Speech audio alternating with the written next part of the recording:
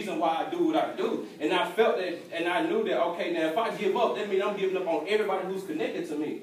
So you gotta have a reason why you do what you do. I know you ain't gonna wanna come to class at 9 o'clock in the morning. I know you ain't gonna stay up and do all those papers all night. I know you wanna go to the club and you wanna party, you wanna do this and you wanna do that. But man, you gotta always, man, know have a reason why you do what you do.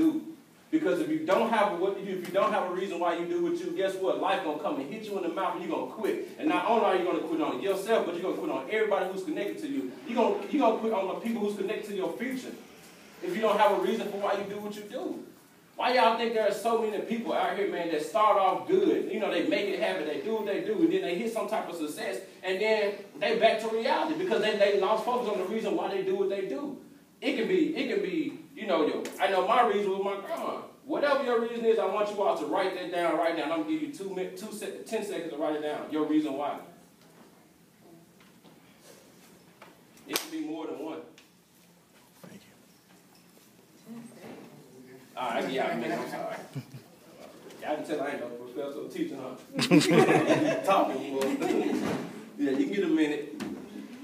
Give him a minute. Yeah. Like two minutes. two minutes, all right. Because Danielle said two minutes. He said ten seconds. I ain't know, I'm Get it out. Gotta get that thought together.